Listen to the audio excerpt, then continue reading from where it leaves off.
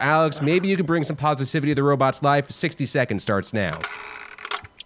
My complaint is about Marvel. I think there's too much Marvel stuff out there, and Marvel, instead of being like, I have to convince you to watch this movie or watch this TV show that I'm putting out, Marvel's like, screw you, consumer. If you haven't watched three TV shows, each at least like six cumulative hours in length, you won't understand what's happening in the next movie. You'll be completely lost.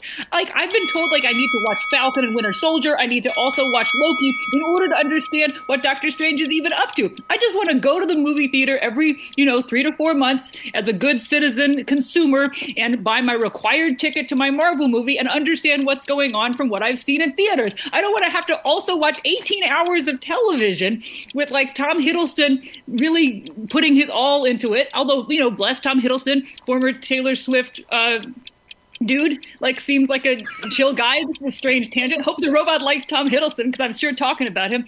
Um, anyway the point is I, I shouldn't have to watch all of this in order to understand what's going on. All right matt you have the first first challenge 30 seconds let me start off by saying I'm still mad at Tom Hiddleston for that awful Hank Williams biopic that nothing ever really became of it. That was terrible, and he only got the part because he was dating Taylor Swift at the time. That being said, I got no problem with the Marvel Universe. I think there's a huge fan base with everything that they want to follow along. What I don't like is that sort of snippiness that you kind of alluded to, Alexandra, of the you have to watch this in order to know this, you have to watch this in order to follow along. I will go on YouTube, I will find a brief synopsis that'll catch me up so I know what's going on to watch this show. I did that with WandaVision. Uh, my partner and I watched like a 12 minute video, caught us up to speed as to what we had to know going into the show. I ended up loving WandaVision, and I hope it sweeps the Emmys. All right, Mijo, your 30 second challenge. Um, yeah, no, I'm totally against that. Like, I don't think there's enough Marvel content, especially for like someone who's uh like incredible. Like, I'm pretty busy, so I don't got time to read all the comics. If I could watch six hours of a show, that gives me pretty much what's going on in the Marvel Cinematic Universe. Like I'll do that instead of reading the comics because the comic lore is so long. So I I want more of it. And and like as far as Disney's concerned, they made like sixty million dollars just for subscriptions on this last Loki season. So like kudos to them. Like it's just they're fighting the streaming wars, which is great. And Alex, your 30 second rebuttal.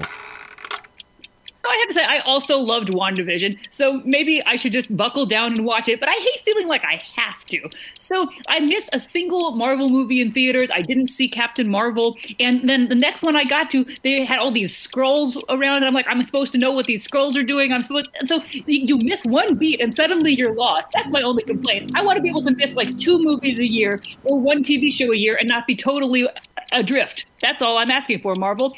I hope you'll understand it. All right, it's time for reckoning to see if our robot overlord will bless us with points today. Let's start. Initiate yeah. 10, Okay. 9, 8, 7, Oh, God. 6, The 5, DC fan watch. 3, 2, 1. Beta. Just sounds like Rhythm Nation's going to start every time that thing plays. All right, Alex, you are making some progress. It's giving you a zero. So, not negative. Uh, Matt, it's giving you a negative two. There it is. And Mijo, winner, winner, chicken dinner, you're getting nine points. Oh! Wow. Ego getting positive points. This is Master Debaters, the show where the best argument wins. From 550 KTSA and FM 1071.